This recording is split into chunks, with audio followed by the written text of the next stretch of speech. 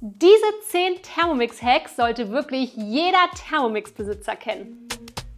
Hi, ich grüße dich wieder hier aus der Mein Zaubertopf-Küche und heute habe ich 10 praktische Thermomix-Hacks, die jeder Thermomix-Besitzer kennen sollte und ich bin gespannt, ob du alle kennst.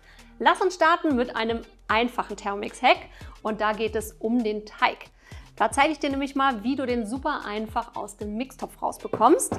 Den Hefeteig habe ich schon hier drin und dann kippst du den Mixtopf einfach um und drehst hier so ein bisschen an der Schraube. Das kannst du entweder mit den Fingern machen, einfacher geht es natürlich hier immer mit dem Teigtwister. Und dann plumpst der wirklich so komplett raus. Und jetzt siehst du, es sind ja immer noch ein paar Reste da. Das heißt, du kannst das jetzt einfach nochmal raufstellen und für ein paar Sekunden Turbo drücken. Dann schleudert der Teig nochmal vom Messer, dann kannst du nochmal mit dem Spatel da rumfahren und dann ist der Mixtopf wieder relativ blank.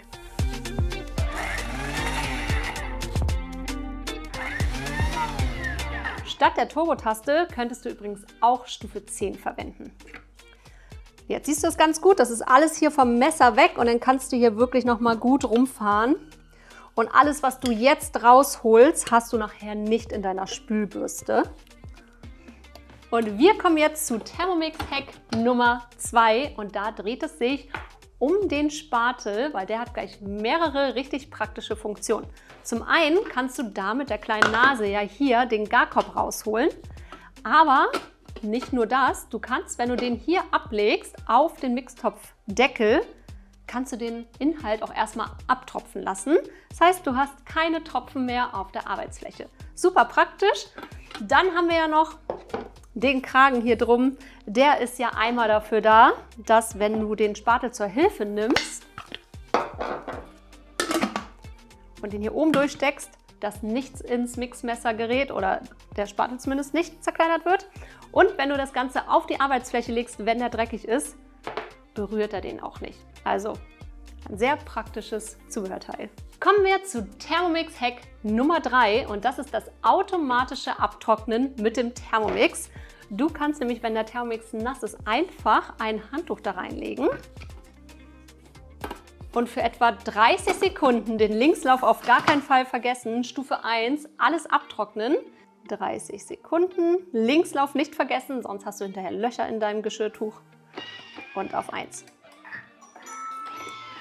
Unser Thermomix sollte jetzt trocken sein und im besten Fall ist auch noch das Handtuch heil. Das sieht alles gut aus. Das Handtuch hat auf jeden Fall keine Löcher und der Thermomix ist auch trocken. Wenn du jetzt etwas malen möchtest, generell auch nach dem Spülen und nicht sicher bist, ob vielleicht noch ein bisschen Wasser unter den Messern ist und du auf jeden Fall einen trockenen Mixtopf brauchst, dann gibt es noch einen kleinen Trick. Stell den einfach nochmal rauf nach dem Abtrocknen und mach für ein paar Sekunden, stellst du den Thermomix nochmal auf Stufe 10 ohne Linkslauf. Und sollte sich noch Wasser unter dem Messer befinden, ist es spätestens jetzt weg.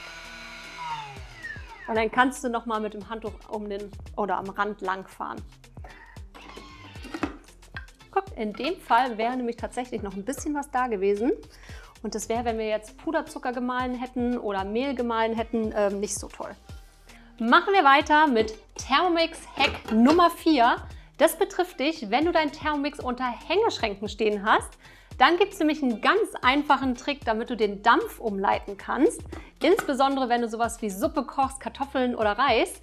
Dann kannst du nämlich einfach deinen Varoma-Deckel hier hinten zwischenklemmen und dann wird der Dampf komplett weggeleitet. Machen wir auch gleich weiter mit Thermomix Hack Nummer 5. Du kannst im Thermomix nämlich tatsächlich Eisbergsalat schneiden. Dafür nimmst du Eisbergsalat, teilst den je nach Größe in vier bis sechs Teile, gibst das in den Mixtopf und dann kannst du den einfach circa 20 Sekunden auf der Knetstufe zerkleinern. Ich zeige dir das Ganze jetzt einmal.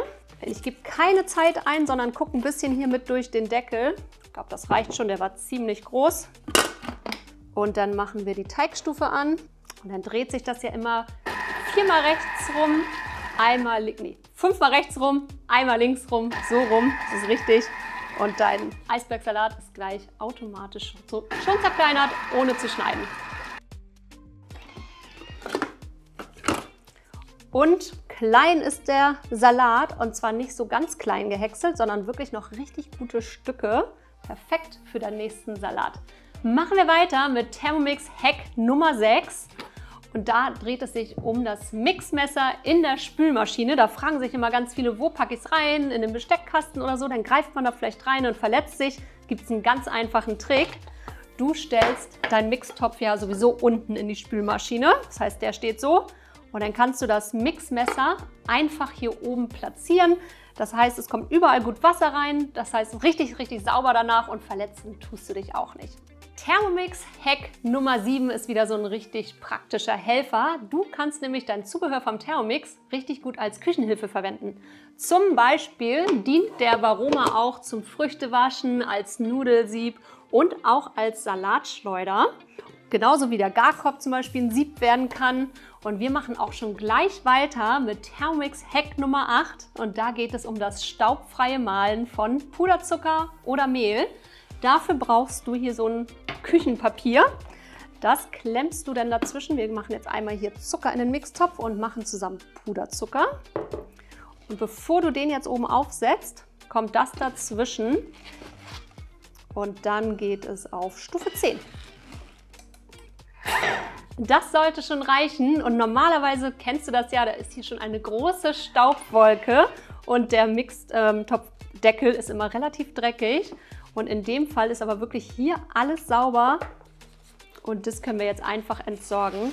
Wichtig bei diesem Thermomix-Hack ist natürlich, siehst du, dass du das wirklich nur beim Malen machst. Auf jeden Fall niemals irgendwie Küchenpapier beim Kochen verwenden, dann kann Druck entstehen und dann wird das Ganze gefährlich. Für Thermomix Hack Nummer 9 brauchst du deinen Garkorb. Wenn du nämlich nur kleine Mengen zerkleinern möchtest, zum Beispiel an Kräutern oder einfach nur eine Zwiebel oder so eine Handvoll Obst, dann spritzt das ja immer ganz gerne hoch an die Wände und an den Mixtopfdeckel.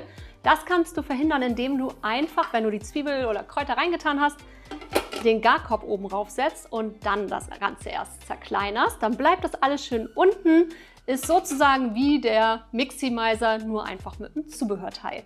Dann kommen wir auch schon zu dem letzten Thermomix-Hack und zwar Nummer 10. Da dreht es sich um die Verfärbungen. Das kennen wir wahrscheinlich alle, wenn wir vielleicht einen Ketchup gekocht haben oder was mit Curry. Verfärbt sich hier der Deckel, insbesondere das Silikon, ganz gerne. Das geht zwar nach einer Zeit auch mit der Spülmaschine weg, einfacher geht es aber, wenn du es dann mit der betroffenen Seite einfach nach oben in die Sonne legst und durch die UV-Strahlen geht das Ganze dann wirklich richtig schnell weg. Lohnt sich auszuprobieren. Ich bin gespannt, ob du schon alle Hacks kanntest oder ob das eine oder andere noch neu für dich war. Schreib es doch gerne in die Kommentare, auch falls ich irgendwie einen ultra coolen Thermomix-Hack vergessen habe. Und wenn du auch in Zukunft noch mehr solcher Tipps haben möchtest, abonniere am besten direkt den Kanal und drück die Glocke und wir sehen uns in der nächsten Folge wieder. Bis dahin, mach's gut und tschüss!